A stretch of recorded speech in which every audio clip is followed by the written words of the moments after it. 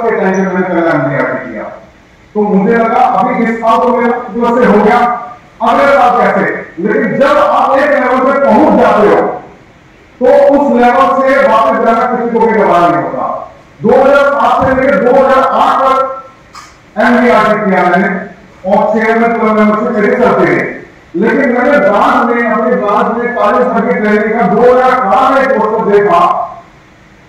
वो थिंक छह महीने का नौ महीने का एडवांस था जो कि किसी नगर मेट्रो स्टेशन के सामने होना था तो मुझे लगा कि एमडीआर के एमडीआर के करते करते बहुत टाइम हो गया। मुझे इससे आगे जाना क्योंकि इससे गुजारा नहीं हो पा रहा, क्योंकि सिर्फ़ दाव होती ही चल रही है एमडीआर में तो वो मैंने सेकंड का पोस्टर देखा और दो हज़ार अठारह में किसी नगर मेट्रो स्टेशन के सामने बैंकेट में मैंने वो सेशन सर का ज्वाइन किया।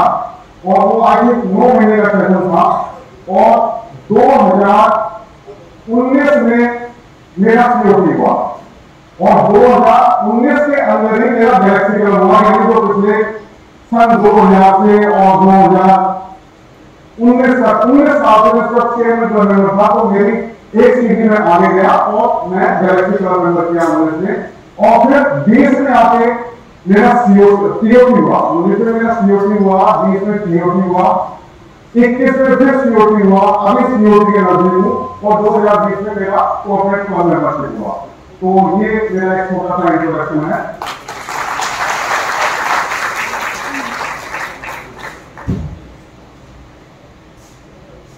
अभी मैं पहले शेयरिंग कर देता हूँ।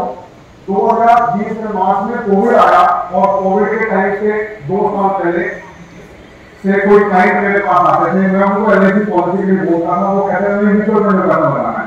तो 2017 में उन्होंने में पैसा देके इन्वेस्टमेंट स्टार्ट किया। और 2020 में जब कोविड आया मार्केट चालीस हज़ार पॉइंट से छब्बीस हज़ार पॉइंट पे आ गई। उनका जो इन्वेस्टमेंट करता था, वो वापस पच्चीस तीस लाख में डेढ़ करोड़ था सवा करोड़ के आसपास पच्चीस लाख नीचे आया।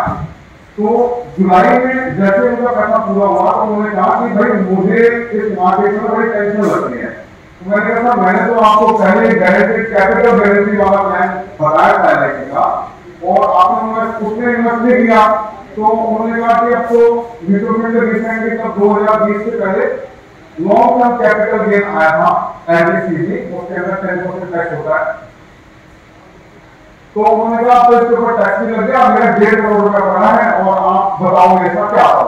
तो मैंने उनको बोला था इसको ना एल का कैपिटल गारंटी वाला प्लान है लाइफ टाइम पेंशन है, आप जीवन उम्र में डालो। उनको जीवन उम्र बताया तो जीवन लाभ भी बताया, जिस तरीके से कार्य करने मुझे बताया। हाँ में पहले तो नॉर्मल देखते थे। अच्छा एक दो हज़ार अठारह से पहले मेरी एक उम्र नहीं रहती थी और दो हज़ार अठारह के बाद आज की डेट में आज कम से कम पौने दो से दो करोड़ रेगुलर शेयर मैं जीवन उम्र में दे चुका सिर्फ़ जीवन उम्र के अंदर मेरे ब्रांच में दो हज़ार अठारह के पहले किसी जीवन उम्र नहीं देखी थी। तो मैनेजर बोलते थे कि आप से उन्होंने कैसे सीखा जीवन के बारे में? और आने के बाद सीखने के बाद कोई नहीं तो दोस्तों, उनसे जैसे बात हुई और उन्होंने मुझसे कहा कि मुझे कोई ऐसा जिसमें पैसा मेरा नीचे ना जाए और रिटर्न तो जीवन उन्होंने बताया, जीवन लाभ बताया, उन्होंने कहा कि मैं लमसम के लिए जाना चाहूँगा। और उनको आठ सौ छत्तीस दस सोलह होता था, नौ सौ छत्तीस अभी हो गया। तो आठ सौ छत्तीस दस सोलह मैंने कहा सर, आज आप अगर एक करोड़ रुपया बैंक में एफडी करते हो तो दस से साढ़े दस डबल होता है। ठीक है?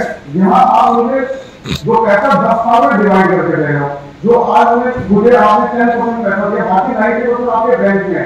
तो उसके ऊपर बैंक का इंटरेस्ट भी आएगा। ठीक है?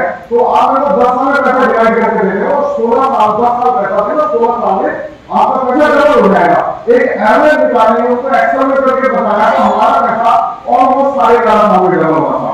क्यों? क्योंकि हम किस्तों में पैसा ले तो बैंक में आप साढ़े दस साल में कर रहे हो। उसके रिटर्न पे आप थर्टी परसेंट टैक्स दे रहे हो। उसके जो इंटरेस्ट आएगा उसको थर्टी परसेंट टैक्स दोगे। ये आपका इंटरेस्ट दिया है तो आप जितना पैसा दोगे, उसका दस गुना इंश्योरेंस का है।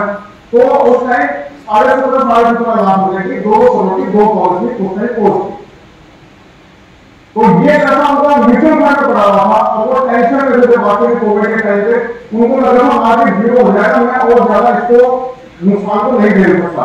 तो दो तीन महीने रुके और जुलाई में आगे, जुलाई बीस के आगे मुझे साढ़े सत्रह साढ़े पंद्रह लाख रुपए का पैंतीस लाख रुपए का जीवन लाभ देना मुझे चेक देगा। तो ये एक स्टोरी थी मतलब सेल स्टोरी थी। दूसरी थी कि मेरा होम लोन का भी काम है होम लोन का काम करता हूँ तो एक क्लाइंट मेरे पास आया, वो सवा करोड़ रुपए का लोन कर रहा था। और कोविड के टाइम पे कोविड के बाद रेट ऑफ़ इंटरेस्ट काफ़ी डाउन गए। लोगों को पता नहीं था इंटरेस्ट रेट नौ परसेंट से साढ़े आठ परसेंट तो उनका मैंने इंटरेस्ट का कन्वर्जन कराया। इस के कन्वर्जन के बारे में और नोना रोलिंग के बारे में मेरे यूट्यूब चैनल पर भी वीडियो पड़ी हुई है। सुभाष चंद्र एलएसी के नाम से ढूंढ सकते हैं आप मुझे तो उनका साढ़े आठ परसेंट मैंने सात एक मेल दबा के बैंक वो उनका कन्वर्जन कराया और जो कार्ड हुए उनकी छह साल की, एक लाख दस हज़ार रुपए की सवा करोड़ के ऊपर छह साल की ई एम आई कम हो गई। यानी जो उनका इक्कीस साल का लोन था पंद्रह साल का रहेगा तो उनको नज़र आया कि बहत्तर लाख रुपए का मैंने उनका सेविंग किया। तो उन्होंने मुझे जीवन में सवा सवा करोड़ की अपने बच्चों की दो पॉलिसियाँ कराई जिसके अंदर के दस दस लाख रुपए क्लियर तो ये सब दोस्तों ट्रेनिंग का नतीजा है। एक बच्चा टेंथ क्लास में अगर मान लो कि टॉप कर जाता है, उसके बाद स्कूल जाना छोड़ देगा तो क्या होगा? ये आप सभी जानते हैं। तो उसमें कंटिन्यूस प्रोसेस में कार्य माइंड का कोई भी सेशन होता है दुनिया के अंदर तो मैं अटेंड करता ही करता हूँ। क्योंकि सिर्फ़ एक ट्रेनिंग अटेंड करता हूँ, मैं सोचती हूँ उस ट्रेनिंग से मैं अगले दस साल या पाँच साल मैं खाऊँगा कमाऊँगा पॉसिबल नहीं मार्केट में रोज नए अपडेट हैं। तो उन अपडेट्स के साथ आपको अपडेट रहना ही पड़ेगा।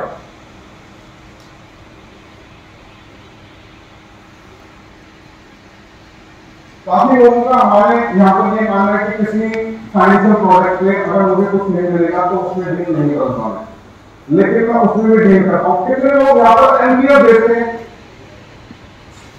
लोग उसमें कुछ नहीं मिलता इसलिए हम नहीं देते मैं ये फ्री सर्विस क्लाइंट को देता हूँ। मान लो कोई हायर इनकम ग्रेड का क्लाइंट है उसने कहा मुझे एनपीएस करना है।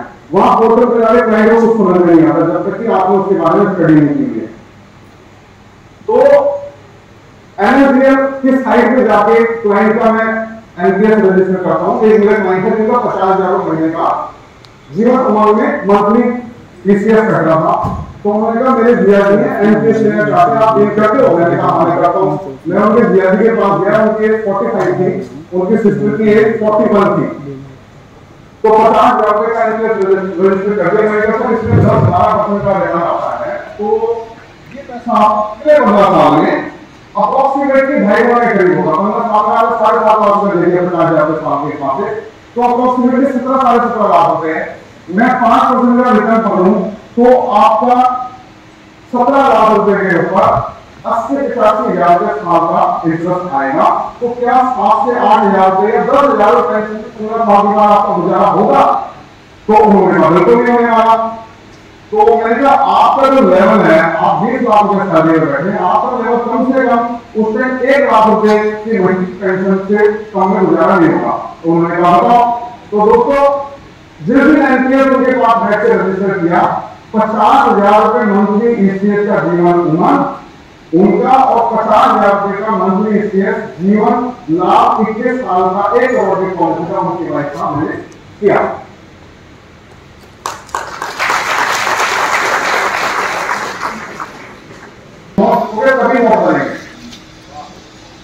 मेरे टाइम की कोई भी क्वेरी होती है, मैं ड्राइविंग कर रहा हूँ ना, मैं ऑफ़िस के उस पर व्हाट्सएप कर देता हूँ। कोई क्वेरी होती है न्यू बिज़नेस की क्वेरी हुई, कोई सर्विस रिलेटेड क्वेरी हुई। मैं उसको नोट करता हूँ नोट करने के बाद डेली डायरी मेरी डेली डायरी नोट करता हूँ। और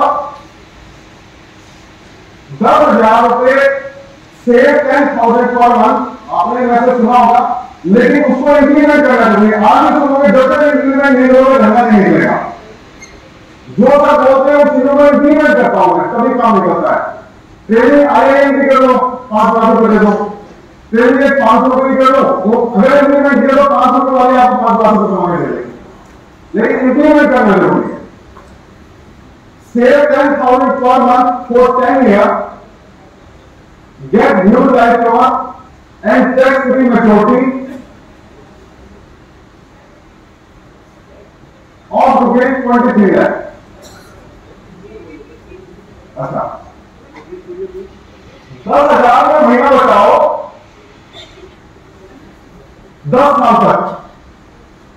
ये मेरा फेवरेट मैसेज है।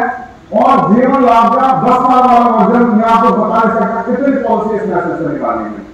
वाकई व्हाट्सएप ब्रॉडकास्टिंग के बाद मेरी खुद की लाइफ चेंज हो गई, मुझे ऐसा लगता है। क्योंकि आप ना चाहते हुए गुड मॉर्निंग को क्लियर रहती है, ना चाहते हुए जो आपका काम है, वो काम हमें करना है। जो हमारा काम है, वो हमें करना है। वीक में एक बार आप मैसेज दे दो दस दस हज़ार को महीना बचाओ दस साल तक, और मेच्योरिटी के तेईस लाख रुपए लो tax free with good life अब कुछ मेरे जो एजेंट भाइयों को कहते हैं तो बाद में इसके अंदर आपने ये तो लिखा कि दस, सोलह साल में छोटी है। भाई, सारी चीज़ें मैसेज में डालनी तो फ़ोन कैसे बचेगा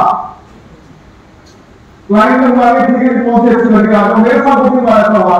जब वहाँ उसको बैठ के बताया कि सोलह साल में छोटी है तो वो कहता है सोलह साल में लेकिन जब उसने बुला लिया तो वो चेक देगा ही खाली बात डिस्कस करोगे तो आगे कौन नो हो जाएगी?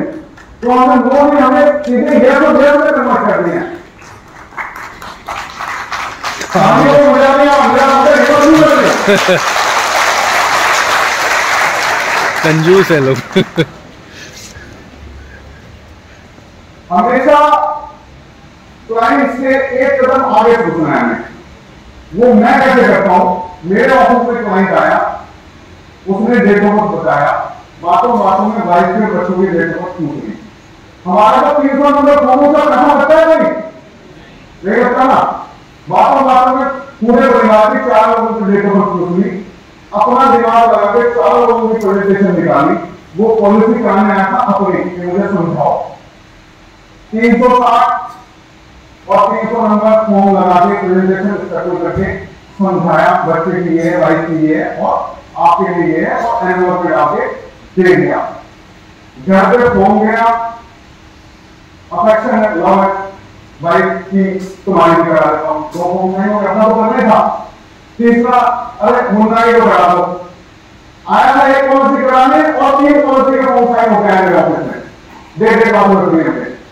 तो कस्टमर से आगे आगे सोचना पड़ेगा जो कस्टमर ने मांगा हमें कोई दे दिया, उससे आगे सोचना पड़ेगा हमें। तभी समस्या मिलेगी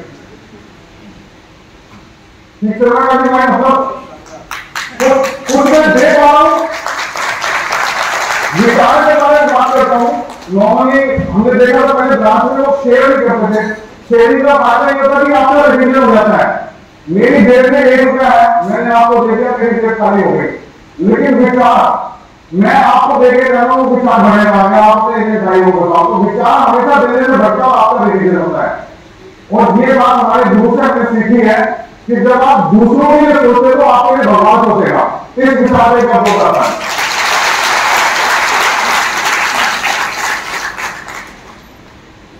और मैं दी को क्लाइंट से जब भी बात करो जीने की बात करो धंधे की बात करो चाहे आपने किसी से पॉलिसी का ज़िक्र नहीं किया ना आप एक बोलते हो आपके लिए बताएगी उसको है बताते रहते बताइए ठीक है? तो जब भी बात करो ऑलवेज बी करोगे तो जब बात करो जीने की बात करो सोते बैठते उठते, खाते जीने की बात करो।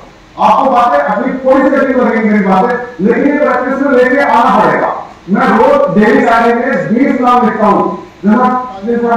पहले हम लिस्ट बनाते थे। लिस्ट बनाते थे तो हम क्या करते थे? कि सब लोगों को एक साथ लिख दिया। लेकिन सबके एडवांस ट्रेनिंग जाने का फ़ायदा ये हुआ, उसमें लिस्ट बनाना हमें सिखाया। क्योंकि काम तो सभी करते थे तरीके से काम करना, वो जो एक डायलॉग जो दिखता है, वो देखता है। लेकिन जो अच्छा दिखता है, वो नहीं लगे दिखता है। तो उसमें हमें मुझे बताया प्लास्टिक की लिस्ट कैसे बनानी है आपको? जो पचास हज़ार से कम प्रीमियम देने वाले लोग हैं, उनकी लिस्ट अलग बनाओ। लिस्ट को सेग्रीगेट करना है। जो पचास हज़ार दो लाख लोग प्रीमियम देने वाले हैं, उनकी लिस्ट अलग बनाओ। जो दो लाख लोग प्रीमियम देने वाले उनकी लिस्ट अलग बनाओ जो पाँच लाख प्रीमियम देने वाले उनकी लिस्ट अलग बनाओ और सबसे ज़्यादा मेहनत किसके ऊपर करनी है? जो आपको 80 परसेंट का रेवेन्यू दे, यानी आपको ज़्यादा फोकस पाँच लाख पे करना है। पचास देने वाले लिस्ट को अपने स्टॉक लगा। तो जो 80 परसेंट आपको रेवेन्यू दे, उसमें फोकस करना आपको। जैसे न्यू बिज़नेस है, आपका 80 परसेंट रेवेन्यू जनरेट करता है। तो आपको न्यू बिज़नेस पे ध्यान देना है। जो सर्विसिंग वाला बिज़नेस है अपने स्टॉक हो जाना क्योंकि वो बीस परसेंट रेवेन्यू जनरेट करता है। साथ में दोस्तों मेडिकल अंडरराइटिंग आपके लिए समझना बहुत ज़रूरी है। आज मैं क्लाइंट के पास बैठा हूँ तो मुझे पता होना चाहिए कि अभी तो लेटेस्ट मेडिकल अंडरराइटिंग में चेंज आए और मेडिकल या मेडिकल में। तो मैं इस क्लाइंट का बिना मेडिकल कितना बीमा कर सकता हूँ। अब जो एजेंट अपडेटेड नहीं होगा क्या करेंगे? बीस लाख रुपए का बीमा उसको करके ले उसको बताएँगे एक लाख रुपए का बीमा बताएँगे उसने एक लाख रुपए से काट के दे दिया अगर ये मेडिकल अंडरराइटिंग आपको पूरी तरह पता हो नॉन मेडिकल अंडरराइटिंग पूरी तरह पता हो तो वो क्या करता है क्वालिफिकेशन है एमबीए ठीक है कंपनी जॉब करा तीन महीने पुरानी जॉब होगी सीधे एक प्रैक्टिस साल से कम बता एक करोड़ का बीमा कर सकते हो लेकिन हम अपडेटेड नहीं थे अंडरराइटिंग हम बीस लाख रुपए का बीमा लेके आ गए आपने एक लाख का चेक मांगा उसने एक लाख का चेक के दे दिया लेकिन उसकी जो कैपेबिलिटी थी और जो उसकी इच्छा थी पाँच लाख रुपए थी देने की क्योंकि चालीस के आपने एक बार बताया, उसने एक बार दे दिया। अगले साल रिन्यूअल पे आप चेक लेने गए तो आपने देखा एक मैक्स नियम की पॉलिसी रखी। चार लाख रुपए का नियम पॉलिसी तो हमारा फेस कैसा होता है? इमोशनलेस तो इसलिए मेडिकल और नॉन मेडिकल अंडरराइटिंग को जानना हमारे लिए बहुत ज़रूरी है कि एमईआर मेडिकल एग्जामिनर रिपोर्ट में मैं कितना बीमा ले सकता हूँ विदाउट मेडिकल कितना बीमा ले सकता हूँ मेडिकल टेस्ट कितने से होंगे, ये सारी चीज़ें जानना बहुत ज़रूरी है हमारे लिए। इस क्वेश्चन के लिए यूट्यूब चैनल पर एक वीडियो पर आप देख सकते हैं।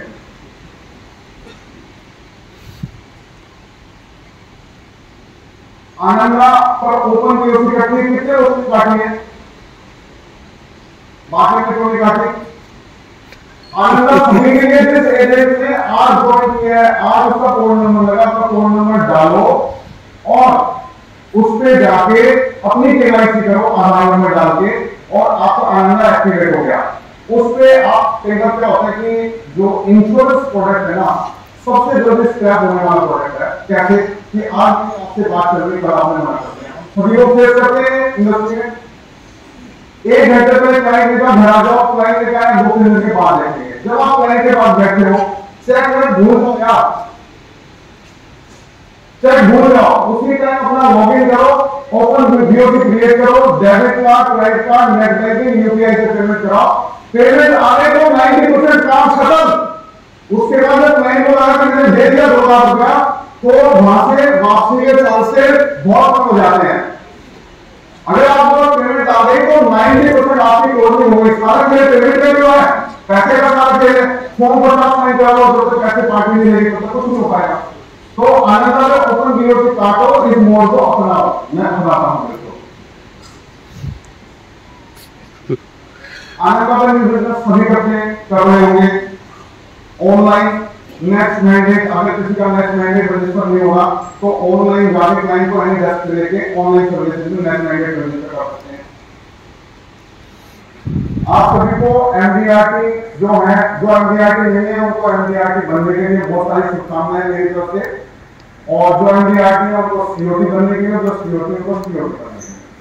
मेरी तरफ़ से बहुत बहुत शुभकामनाएँ। दो लाइनें आप लोगों के लिए आपके जुनून के नतीजे ज़रूर निकलेंगे। दोस्तों, आपके जुनून के नतीजे ज़रूर निकलेंगे। देखना, इसी समंदर से कई हीरे निकलेंगे। वाह वाह।